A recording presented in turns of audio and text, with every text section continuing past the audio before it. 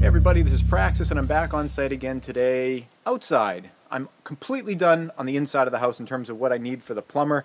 Everything is labeled, everything is laid out, everything that I wanted to put in place so that they wouldn't interfere with something I wanted to put in. That's all in, all done. And I started thinking to myself, well, who's the next contractor that's going to come in that I want to make sure I have stuff ready for? And that's the solar hot water person. We can't move into this house until we get our solar hot water panels up. Uh, that's not because I, I feel like, oh, I, I, just couldn't live in a house that didn't have warm water. I legally can't move into this house because the government doesn't believe that I would necessarily finish all, all the green energy kinds of stuff that we're putting on the house that we are kind of mandated that we have to do.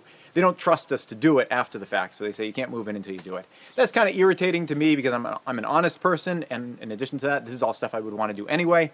But, um, you know, I, I, suppose not trusting people, at least in my unfortunate experience, is probably the right call most of the time, unfortunately. So uh, I'm building this, what's behind you. It's a, a whole new house. It's a mini house. It's going to be a shed. It's 10 feet by 14 feet, but it is exactly the same building style as that.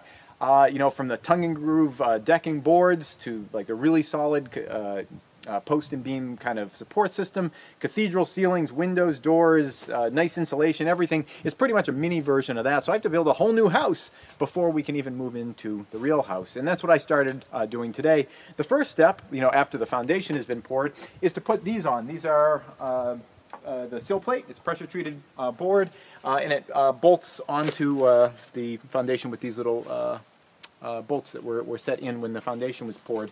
Before it goes on, it gets uh, this stuff. It's kind of a foam pad that prevents uh, drafts from going underneath it. Uh, and that's just what I've been working on today. It's uh, so if, if, you're just jumping into the series now, you get a you get a whole uh, you know fast forward replay of, of everything that we did because it's essentially going to be the same thing on a smaller scale.